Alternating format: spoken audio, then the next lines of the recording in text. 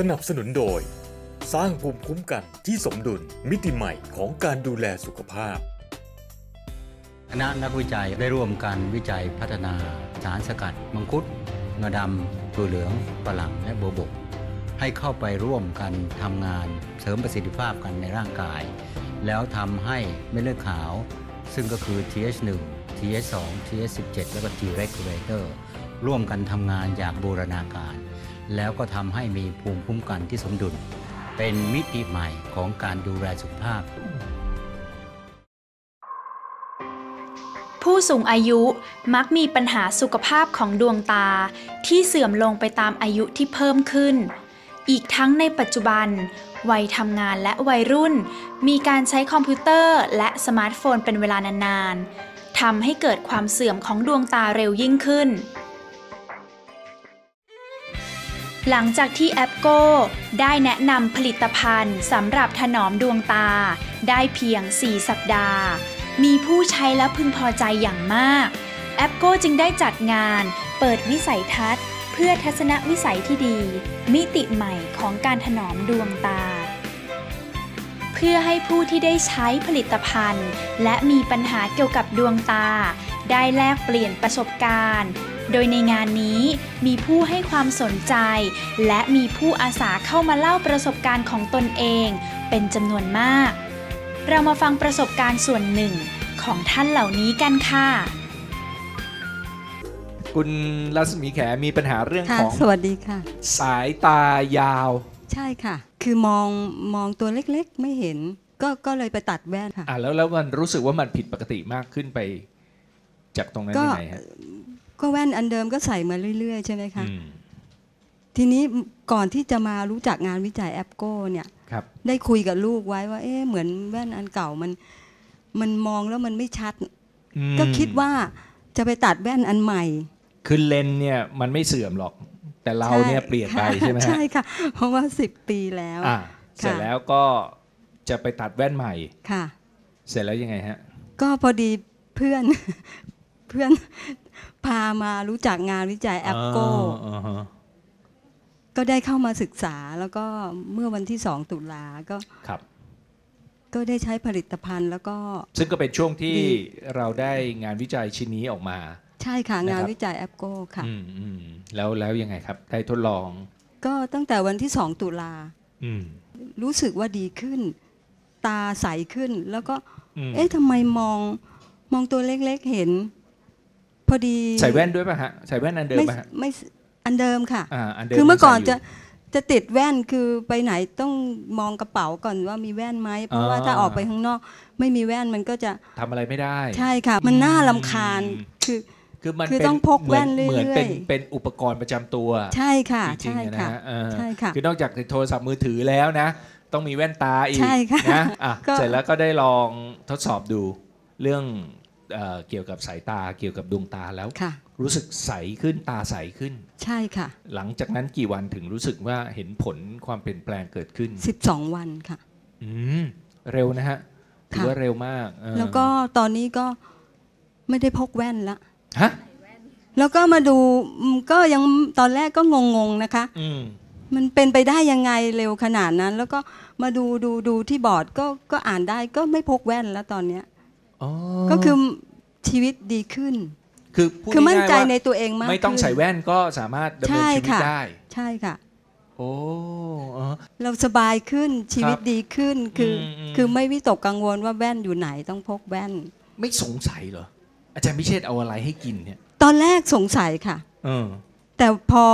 พอเป็นผลอย่างนี้ใช่ไหมคะทำให้เราเข้ามาค้นคว้าหาข้อมูลเพิ่มขึ้นอืมจากอาจารย์ดรพิเชษฐ์พอเข้าใจหลักการที่มีการมันบรรยายก็ค่ะก็มาค้นคว้าเพิ่มเติม ใช่ค่ะนะก็ครับเข้าใจก็จะได้ประจักษ์แล้วก็ได้ความรู้ไปด้วย ใช่ค่ะนะครับเอาล่ะทุกวันนี้ก็แล้วต่อเนื่องค่ะโอ้ดีมาก ปัญหาของตาที่เกิดจากความเสื่อมตามธรรมชาติ นักภูมิคุ้มกันเขาพบว่าเกิดขึ้นจากการสร้างเม็ดเลือดขาวที่ก่อการอักเสบมากเกินไป ก็คือทางฝรั่งเขาเรียกว่า pro inflammatory cytokine หลังมากเกินไป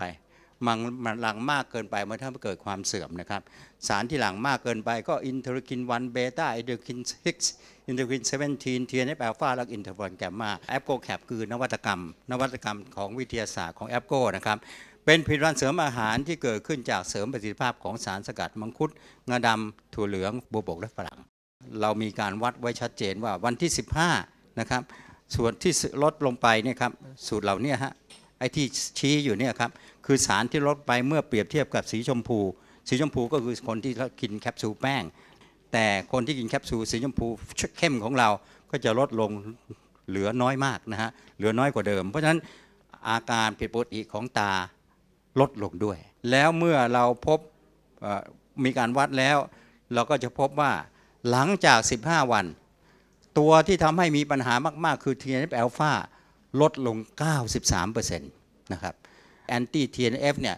เป็นยาที่เขาพัฒนาใช้สำหรับฉีดเข้าตานี่แหละนะเพื่อไม่ให้มี TNF มันมากเกินไป ของเรา 15 วันมันเหลืออยู่แค่ 7%เนี่ยเราก็จะมีสูตรอีกสูตรหนึ่งให้ใช้ควบคู่กันไป ก็คือใช้น้ำมังคุดของเรา ซึ่งเราเรียกว่า a p c o e s s e n c e นะครับสิ่งที่เรากำลังพูดถึงนะครับ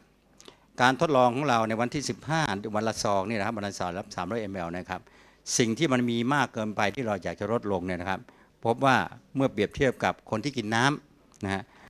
สีสีน้ำเงินนะครับก็จะลดลงนะครับ เช่นเดียวกันนะฮะเห็นว่า TNF alpha interferon gamma interleukin 1 beta interleukin 6แล้วก็ interleukin 17 ลดลงทั้งนั้นเพราะฉะนั้นต้นเหตุที่ทำให้เกิดความเสื่อมลดลงทั้งนั้น เพราะฉะนั้นมันจะทำให้ มีความสามารถในการถนอมดวงตาได้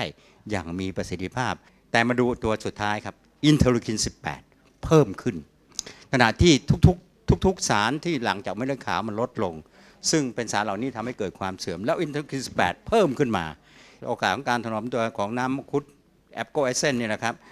ไอสารสีส้ม แถวสีส้ม แถวแรกนะครับหลังจากที่ใช้ไป 15 วัน มันจะมีการลดลง 18% 17% 23% 45%และ52%สิ่งเหล่านี้คือสิ่งที่หลั่งเยอะเกินไป ในคนที่มีปัญหาตาเสื่อม ตัวที่ไม่ลดคือ interleukin 18 เพิ่มขึ้นมา 50%ในวันที่ 15 นะฮะ จากการที่ใช้น้ำมังคุดของเรา ก็เราก็จะสามารถถนอมดวงตาไม่สูญเสียการมองเห็นจากอาการจอประสาทเสื่อมชนิดเปียกได้ เพราะมีการเพิ่ม interleukin 18 ขึ้นมา จอประสาทตาเสื่อมเนี่ยเดิมทีเราจะมีวิธีการรักษาโดยใช้ยิงเลเซอร์เข้าไปที่เส้นเลือดนะครับ ไม่ให้มันเลือดไหลออกมา ตอนระยะหลังก็เนื่องจากว่ามันมันเป็นวิธีการที่ไม่สะดวกอะนักวิทยาศาสตร์ก็พยายามที่จะพัฒนาวิธีการใหม่ ก็คือไปใช้สาร interleukin 18 ซึ่งเขาก็พบว่าสามารถฉีดเข้าไปในเส้น เส้นเลือดไม่ต้องฉีดเข้าตาแล้วนะครับ ฉีดเข้าไปในเส้นเลือดก็จะสามารถแก้ไขปัญหา ในลักษณะเดียวกันได้นะครับ เพราะฉะนั้นเมื่อเป็นอย่างนี้ครับ การเพิ่มที่อินทรีย์18 ด้วยการดื่มแอปโกไอเซนยิ่งเป็นวิธีการที่สะดวกและปลอดภัยและประหยัดมากกว่าหลายสิบเท่าแน่นอน ก็เราก็มีความมั่นใจนะครับว่าเราสามารถที่จะดูแลความผิดปกติเหล่านี้ได้ โดยการทำให้เขากลับไปสู่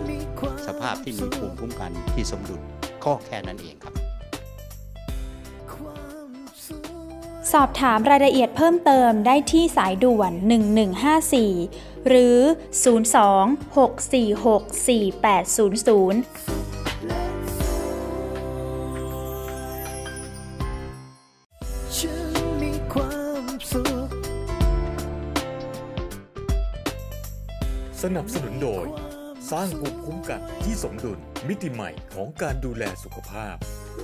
และสำหรับคุณผู้ชมท่านใดนะครับที่มีปัญหาเกี่ยวกับเรื่องของข้อเข่าและก็เบาหวานนะครับ สามารถรับคำปรึกษาได้ที่ศูนย์รับปรึกษาปัญหาโรคข้อ เข่าและเบาหวาน โดยนักวิทยาศาสตร์การแพทย์นะครับ ซึ่งจะมาให้คำตอบกับทุกท่านนะครับ ทุกวันจันทร์และวันพุธที่บริเวณชั้น 30 ของอาคาร AIA Capital Center ถนนรัชดาพิเศษครับ หรือโทรศัพท์มาสอบถามเราก่อนได้นะครับ ที่หมายเลขโทรศัพท์ 026464800 หรือสายด่วน 1154แล้วก็ที่เว็บไซต์ของเราครับ www.bim100.com ครับ วันนี้รายการสุขและสวยลาคุณผู้ชมไปก่อนครับ สวัสดีครับ